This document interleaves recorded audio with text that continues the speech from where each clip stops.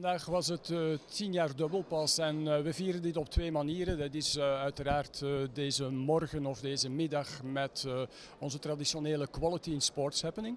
Deze maal was die uh, meer een educatief gerichte uh, Quality in Sport happening met onder andere sprekers als uh, Les Reed, Thomas Fouquet, Henk Mariman. En we hebben dan ook een jeugd-trendwatcher gevraagd, Ellen Anthony, die over de nieuwste trends bij de jeugd is komen spreken. Uiteraard is het, zoals het woord het zegt, de Quality in Sports happening.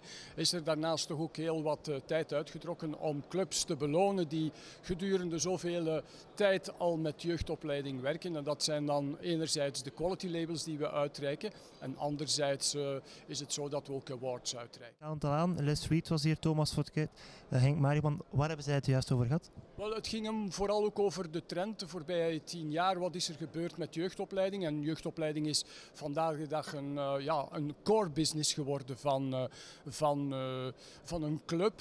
Dat was tien jaar geleden heel wat minder. Dat was meer een sociaal gerichte bezigheid, zou ik maar zeggen. Vandaag is dat werkelijk daar om professioneel spelers op te leiden. Thomas Fouquet was in het kader van uh, zijn opleiding die hij in een amateurclub uh, gekregen heeft en op een latere uh, periode maar doorgestroomd is naar het professionele voetbal. Zijn versie daarvan, waarom was hij vooral in die beginjaren gebleven bij zijn club Dilbeek Sport en hoe is het dan toch mogelijk geweest dat hij die overstap heeft gemaakt? Les Reed had het voornamelijk over de rol van de technische directeur binnen het Engels voetbal. Dat is een nieuwigheid en in een club is dit wel uh, van, uh, van toepassing, is dit een deel van de structuur.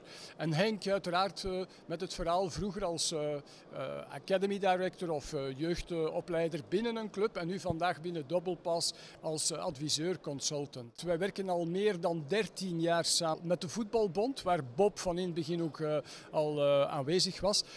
13 jaar werken wij met Bob samen en Bob had het vooral over die, die samenwerking die wij met de VFV vandaag hebben. VFV samenwerking niet enkel en alleen om hun clubs te auditen, maar ook om hun clubs te stimuleren verder te blijven investeren in jeugdopleiding.